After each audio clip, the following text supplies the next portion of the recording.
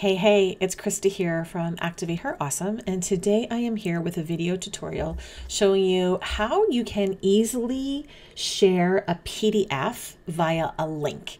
And I'm going to talk about three different ways to do this. The first one is you're going to actually use your website to do this. Now, if you don't have a website, not a problem, because I'm also going to show you how to do this using two of the most popular cloud storing solutions. The first one being Dropbox, the second one being Google Drive. So let's dive in and show you how to do this on your website. The first thing that you're going to want to do is you're going to want to find the PDF that you want to upload on your computer. I have it here saved inside of my downloads folder.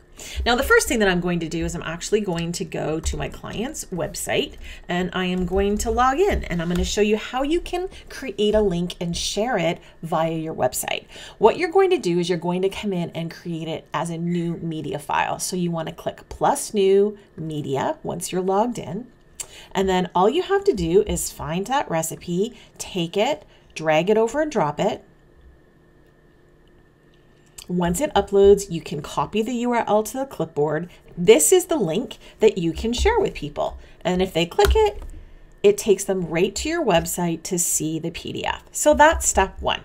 Now, let's say you don't want to do it via your website or you don't have a website. Okay, so the second way you can do it is to do it inside of Google Drive. You, if you are organized and you have everything set up in folders, then I would recommend putting it in a folder. If not, navigate to where it says files, and then you're going to bring up that download again and you're just going to take it and you're going to drag it and drop it over here. Can you see how it went a little bit blue? That means I know it's going to be added here.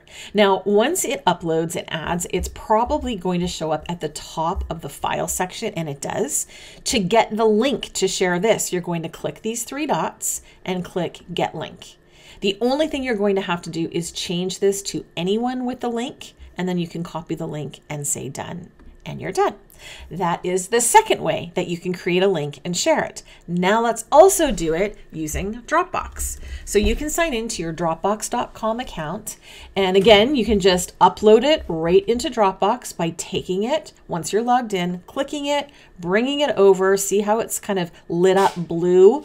Drop it. It's going to upload it and you can just copy this link. It's going to create the link for you. Boom and all you have to do is copy it. And if you paste it in, then you can share this link and they are able to see it in Dropbox. All three ways work, super easy, lots of different options to do. That's it, that's all you have to do. Let me know if you have any questions and make sure you subscribe and follow for more tips. Cheers.